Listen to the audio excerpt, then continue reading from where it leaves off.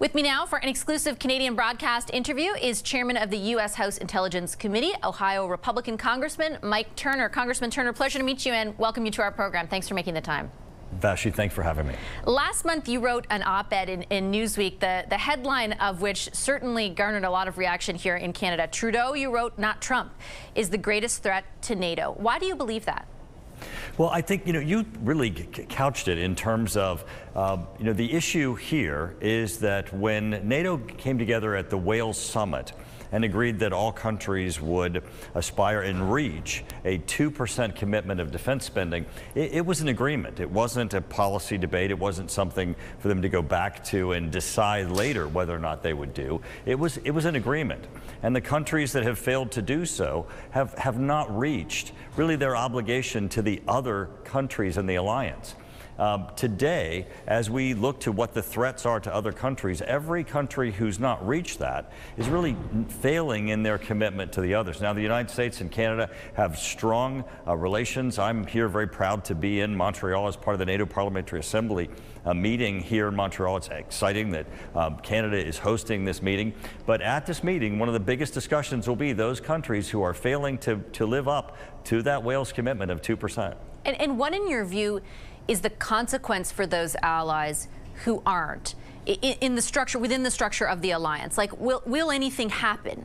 for example, beyond, I know what you're going to talk about, the, the, actual threats that exist, but like, will any, is there an, any tangible consequence within NATO if you don't live up to that pledge? Well, currently there is not, and that's really the, the sad part is, is that those countries who, who see no consequences have just decided not to live up to it. You know, right now with Russia's aggression in Europe, you know, Vladimir Putin has openly made statements threatening England. He has openly made statements threatening London. Tomorrow, if he decides to attack uh, England or London, uh, Canada is not able to rise to its obligations in NATO to help defend England.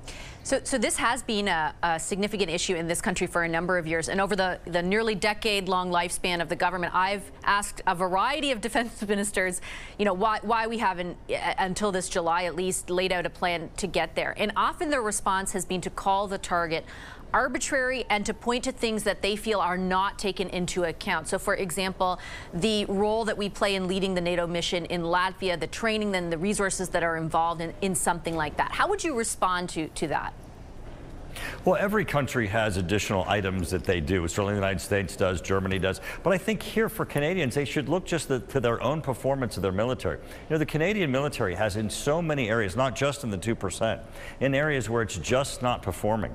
And the fact that, you know, the Canadian military was going to be fielding F-35s and that that mission continues to be put off means that there are careers of potential, you know, Canadian pilots that will never have flown F-35s, where you have you know, Norway, a country much smaller with much less resources, that will have you know, had pilots that reach the capabilities of being you know, F-35 pilots and that can go on in the future to con contribute you know, their expertise of having achieved uh, that, that level of, of, uh, of, expertise. I think there's, there's just greatness that, that Canada can achieve that, that is just being put off uh, that, that is not accomplished when you don't achieve what is that, that agreed upon level of 2% spending. Uh, we spoke a moment ago about the lack of consequence within sort of the, the structure of the alliance, but the incoming president has, uh, at a you know at multiple different instances, talked about the consequences in his view of allies who do not meet that target. In fact, at one moment during the campaign, even said that uh, you know if, if allies don't, that Russia should do or could do whatever the hell I think that was part of my language the hell they they want um, to to those allies. A, do, do you think that uh, the, the incoming president is serious about that? And B, what would you expect the consequences vis-a-vis -vis President Trump to be for an ally like Canada who is not meeting the, the target? I, I think his comments are, are, clearly rhetorical, and and the what you're seeing him saying is is you know this this two percent is important. It really does have consequences, and and it has consequences across the alliance. And what he's showing really is is that it's not just theoretical. Every day that that someone in the alliance does not reach that two percent, it has direct consequences to our ability as an alliance to defend ourselves against authoritarianism, to uh, you know the threats that we have to democracies, and so there is a risk And that risk is borne across the, the, entire alliance by everyone when someone fails to, to reach that 2% as you recognized, which was agreed upon. Do you think there will be, I guess, more specific consequences for Canada? You'll know, as a congressman representing Ohio, how, how important the trading relationship between our two countries is uh, to, to, both of us, but in particular because of the, the relative size of our economies to, to Canada. The prospect of tariffs, the prospect of renegotiating NAFTA in 2026 all lay on the table before us. Do you think there is a world in which the incoming president ties our level of defense spending directly to the prospects of free trade with your country? I do believe that as NATO takes up this issue of countries that are not meeting their agreed upon 2%, uh, that, it, that it, there will be some difficulty in the future, uh, in, in part because I do think that 2% number is going to be increased.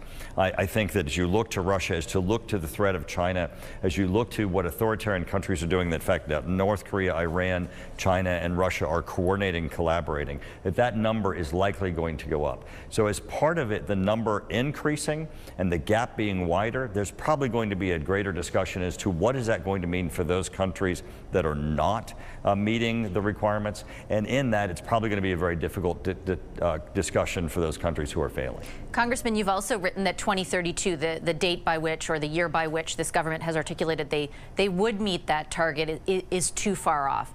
What would not be too far off in your view?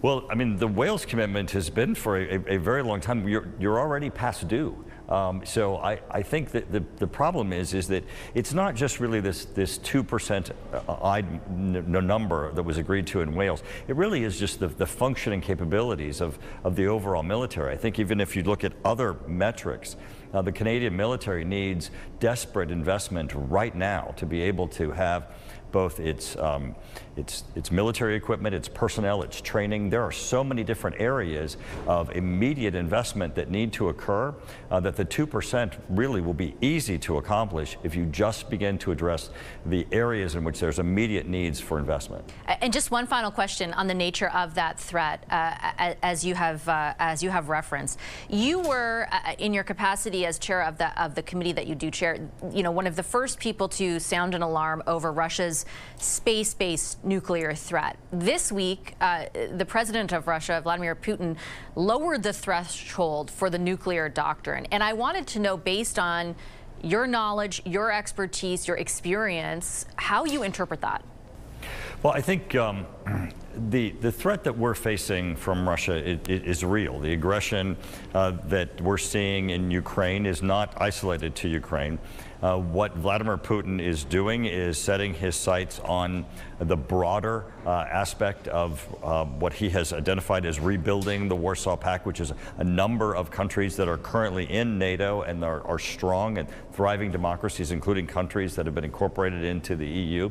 Uh, only by our having strong alliances in the West being committed to fighting authoritarianism and supporting democracies are we going to be able to sustain this as Russia is garnering the support of China, uh, working both to tie North Korea and Iran and their weapons productions to uh, his military aggression. Uh, this really is a very uh, difficult time that we're facing over the next two to five years, and it's going to take every nation, including Canada, to, uh, to come to the recognition that we are facing a unified front from our authoritarian adversaries, and it is going to take strong work from our allies to make certain that, that we retain um, a very um, uh, unified front to ensure that we don't face um, broader conflict. Congressman, I'll leave it on that note. I appreciate your time today very much. Thank you. Thank you so much.